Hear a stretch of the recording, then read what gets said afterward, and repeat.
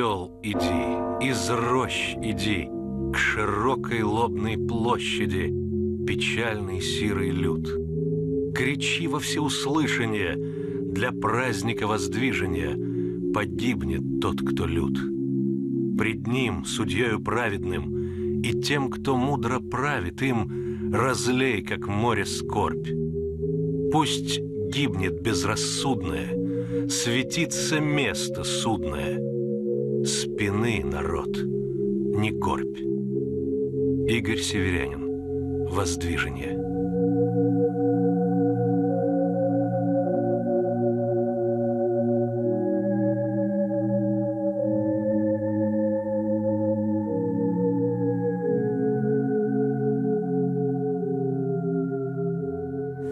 Своей литературной деятельности он считал напечатанное в феврале 1905 года в журнале для солдат «Досуг и дело» под его настоящей фамилией Лотарев стихи о русско-японской войне.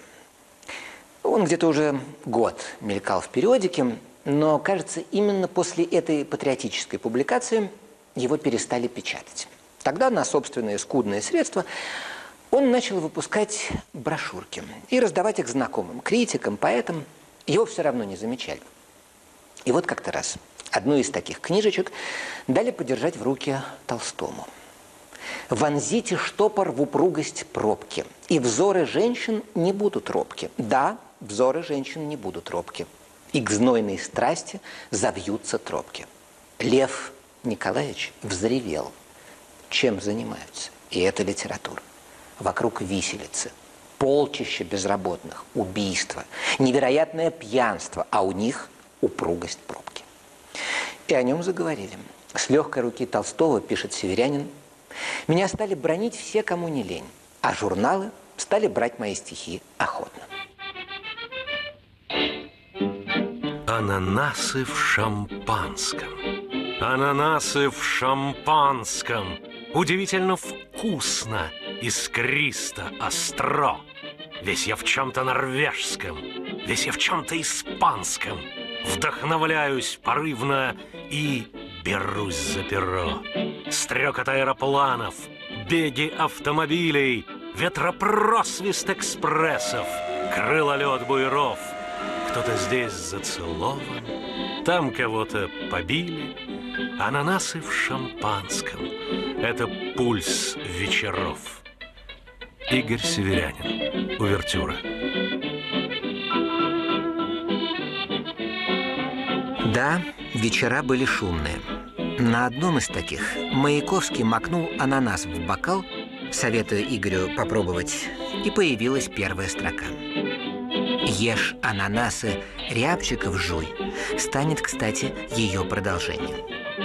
А ласковое прозвище «Северянин» придумал для него любивший выпивать с молодежью Константин Фофанов. Вульгарность и нахальность северянина была неслыханной. Критики спорили. Он с иронией рисует эти мечты мещанина или сам такой? Но при всем безвкусии, манерности, его стихи пленяли музыкой и необъяснимым волшебством. Была весна 1911 года. Мне было 17 лет. Имени северянина я до тех пор не слышал. Но, роясь как-то на поэтическом столике, я раскрыл брошюру. На задней стороне обложки было перечислено содержание всех томов и тетрадей, приготовленных к печати. Что-то очень много. А также объявлялось, что и северянин, дом такой-то, принимает молодых поэтов и поэтесс по четвергам, издателей по средам, поклонниц по вторникам. Все дни недели были распределены, и часы точно указаны, как в лечебнице. Я прочел несколько стихотворений. Они меня пронзили. Чем? Не знаю. Георгий Иванов. Идти в качестве молодого поэта в этом было что-то унизительное. Поклонника тоже. Я нашел выход – приняв солидный вид, отправился в часы, назначенные для издателей. В сущности, я и собирался в ближайшем будущем стать издателем собственной книжки. 75 рублей, выброшенные у сестры, я хранил в надежном месте.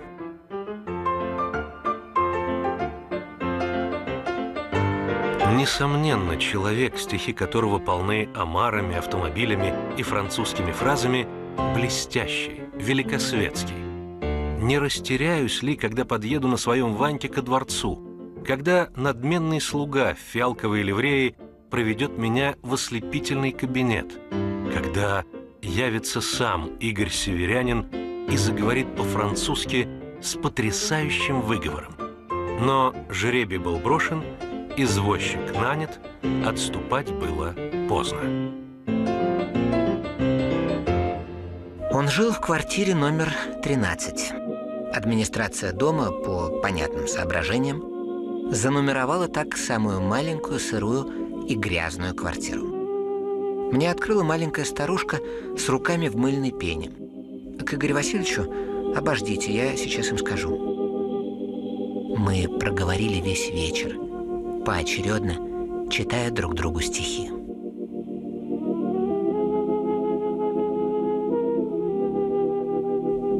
Тем хорош, что он совсем не то, что думает о нем толпа пустая, стихов принципиально не читая, раз нет в них ананасов и авто, фокстрот, кинематограф и лото. Вот, вот куда людская мчится стая. А между тем душа его простая, как день весны. Но это знает кто?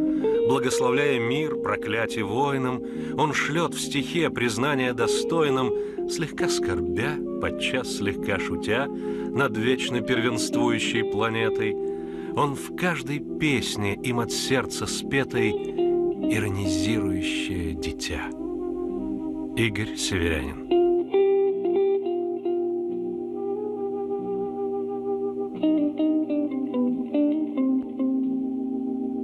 Вокруг северянина сложился кружок молодых поэтов, и вместе они в 11 году основали общество эго-футуристов. Хвали себя, чтобы выявить и утвердить свою личность. Так должен поступать человек будущего. Они устраивали шумные поэзо-вечера. В квартире номер 13 обсуждали, как добыть славу, как совершить литературную революцию.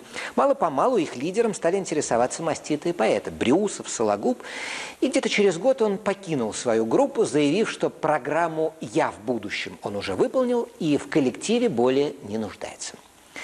Сологуб помог ему издать первый сборник и взял с собой в турне по России большими аршинными шагами в длинном черном сюртуке выходил на эстраду высокий человек с лошадино-продолговатым лицом, пишет очевидец. Заложив руки за спину, ножницами расставив ноги и крепко-накрепко упирая их в землю, он смотрел перед собой, никого не видя и никого не желая видеть. И приступал к скандированию своих стихов. Он не уделял публике никакого внимания, и именно этот стиль исполнения приводил публику в восторг. Это было у моря, где ажурная пена. Это было у моря, где ажурная пена, где встречается редко городской экипаж. Королева играла в башне замка Шопена и, внимая Шопену,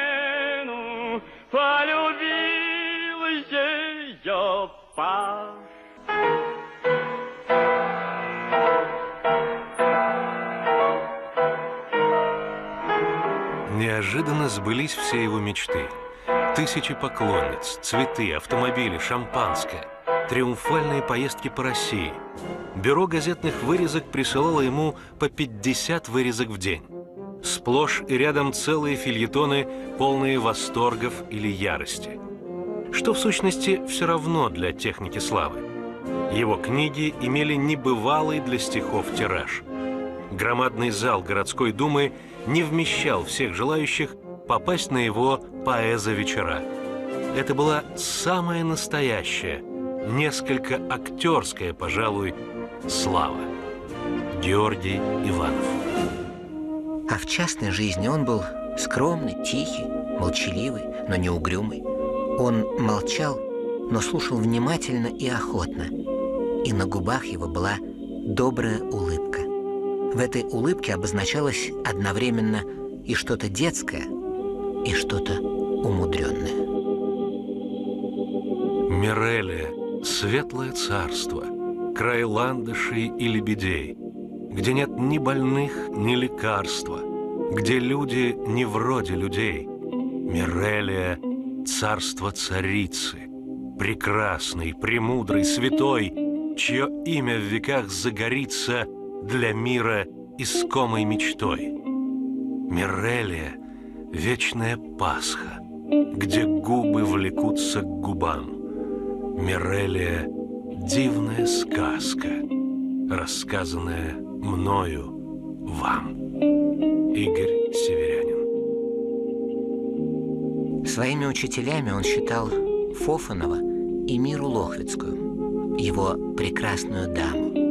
Еще прекраснее, чем у Блока, ведь она была не только музой, но и творцом. Северянин даже изобрел идеальную страну молитв и грез – Мирелью, о которой не очень-то рассказывал с эстрады, где он просто посмеивался над мещанством.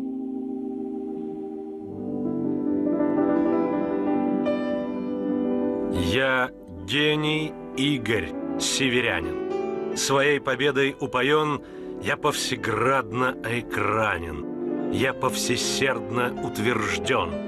Я выполнил свою задачу, литературу покорив, бросаю сильным на удачу завоевателя порыв. Но даровав толпе холопов значение собственного «я», от пыли отряхаю обувь, и вновь в простор, стезя моя. Схожу насмешливо с престола, и ныне светлый пилигрим Иду в застенчивые долы, презрев ошеломленный Рим. До долгой встречи, в беззаконце, веротерпимость хороша. В ненастный день взойдет, как солнце, моя вселенская душа. Эпилог. В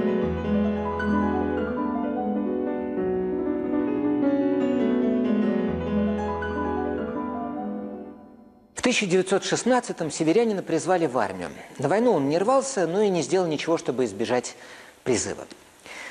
Как бы это выглядело после ставших уже всем известных заявлений? Друзья, но если в день убийственный падет последний исполин, тогда ваш нежный, ваш единственный, я поведу вас на Берлин. На фронт его, правда, и не взяли. В строевой части, где новобранцы проходили основы боевой подготовки, эго-футурист считался посмешищем полка. Он не поддавался никакой муштре. Фельдфебель до хрипоты на него орал. «Эй, ты, деревня, куда гнешь опять?» И все равно не мог заставить его не поворачиваться налево при команде направо. В конце концов, северянина признали совершенно неспособным нести воинскую службу и определили на самую черную работу – по уборке и мытью полов. Это из рассказов однополчан. Феликс Юсупов, большой поклонник его таланта, сжалился над нежным и единственным и добился демобилизации. Сегодня крест страдальческий, как эпилог скитальческий, во храме водружен. Поставьте ж крест забвения, вы, цепи жизни звенья, толпа мужей и жен.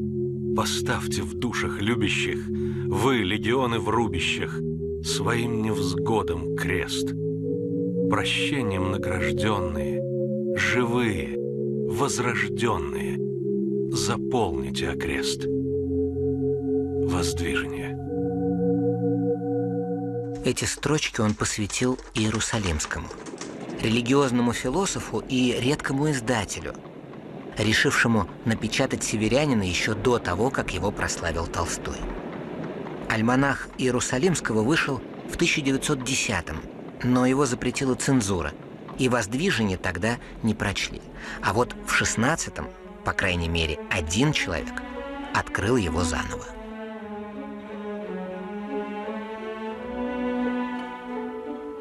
Нет людей, понимаете?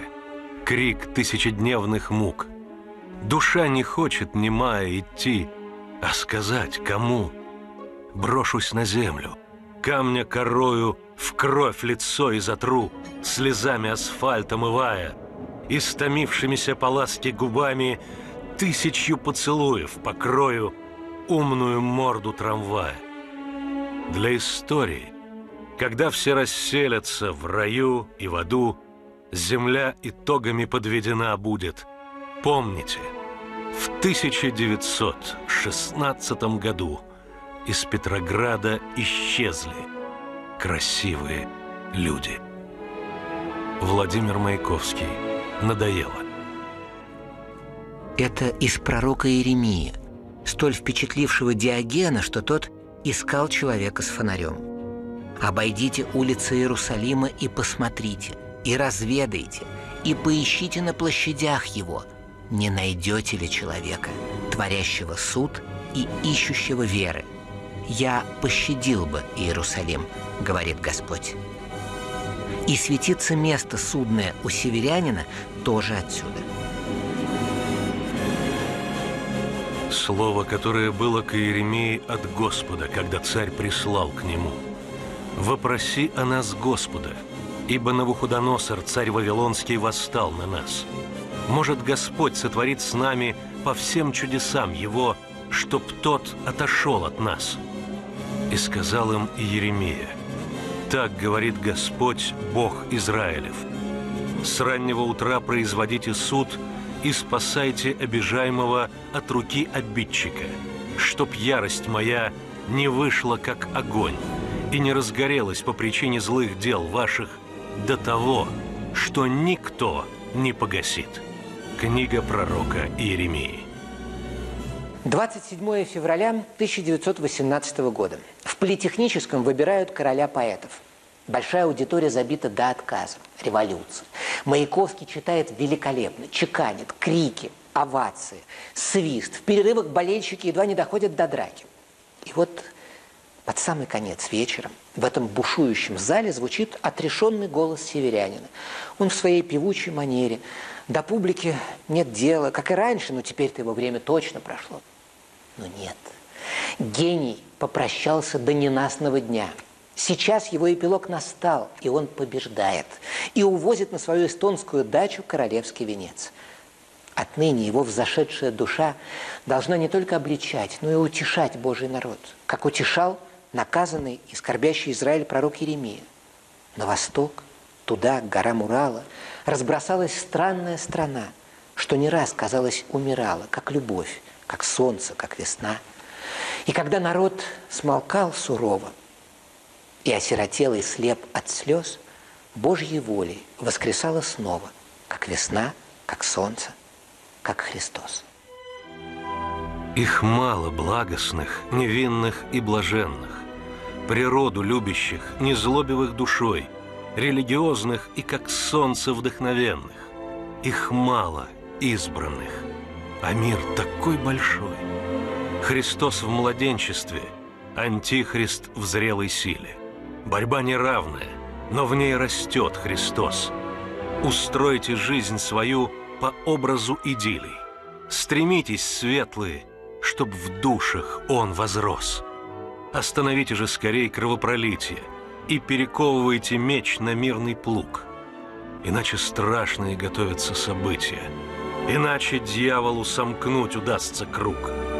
Культура новая заменит пусть гнилую. Сознание космоса, не кепка, а паша. С благословением я пажити целую. Долой бездушная, да здравствует душа. Игорь Северянин. Второе пришествие. Бог устами Иеремии – не разрешает бежать в Египет, но велит сдаться Вавилону и быть людьми, совершать праведный суд, не обижать слабых. Тогда лекарство подействует быстро, и раскаявшийся народ будет помилован. Северянин думает в 20-м, когда он это пишет, что судьба России еще не решена, что еще есть надежда. Он не хотел уезжать и называл себя не иммигрантом, а дачником – Так уж вышло, что Эстония стала свободной страной вместе с его домиком. В начале 20-х на его концертах полные залы. Он много ездит по Европе, читает русским. Но понемногу его перестают приглашать. Ананасов в шампанском он уже стыдится. Считает их хулиганством, пиром во время чумы. Крест воздвигнут. А политика ему претит.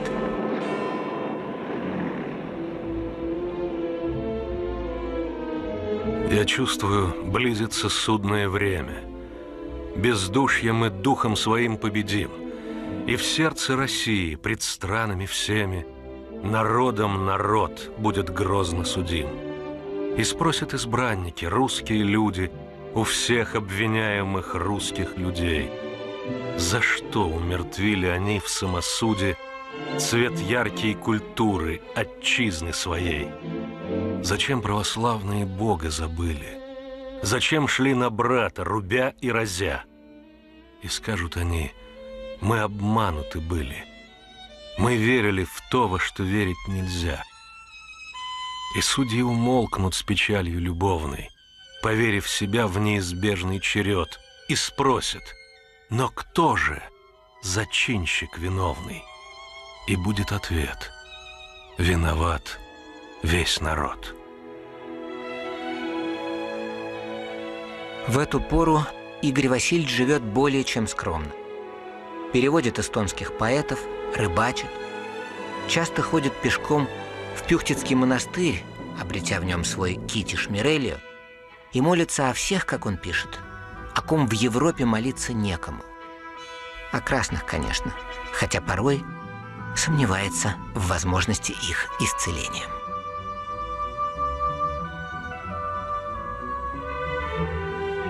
Но это же ведь беспримерность. Глумясь, святыни топчет в грязь, едва исчезла суеверность. Единственная с небом связь. Не зная сущности религий, любви, боясь одних расплат, он веровал, влача вериги, в чертей, сковороду и ад. И так вся вера — страх пред казнью. Так вот, каков он, пахарь Ниф воистину богобоязнен, а думали боголюбив. Игорь Северянин. Богобоязнь. 35-летие своей литературной деятельности он справлял в полном одиночестве. В местной газете вышло автоинтервью, взятое у Игоря Северянина Игорем Лотаревым. Вы теперь что-нибудь пишете? Почти ничего. Слишком ценю поэзию, свое имя, чтобы позволить новым стихам залеживаться в письменном столе. Издателей на настоящие стихи теперь нет, нет на них и читателя. Еще один вопрос, извините, несколько, может быть, нескромный. На какие же средства вы существуете? На средства Святого Духа, бесстрастно произнес Игорь Северянин. В феврале 31-го все тот же князь Юсупов организовал ему два вечера в Париже. Собратья-поэты приняли Северянина холодно. Все, кроме Цветаевой. Он больше, чем остался поэтом, пишет она. Он стал им. Стар до обмирания сердца. Морщин больше, чем у трехсотлетнего, но занесет голову. Все ушло. Соловей. Не поет. Тот словарь ушел. Пока же первый мой поэт, то есть первое сознание поэта за 9 лет, как я из России. Он читал из нового сборника, который счел своим лучшим. Классические розы. Что такое Россия, мамочка? Это впавшая в сон княжна. Мы разбудим ее, любимая? Нет, не надо. Она больна. Надо ехать за ней ухаживать. С нею няня ее была. Съели волки старушку бедную. А Россия что ж? Умерла. Как мне больно, моя голубушка. Сердце плачет, и в сердце страх. О, дитя, ведь она бессмертная, и воскреснет она на днях. Игорь Северянин, «Спящая красавица».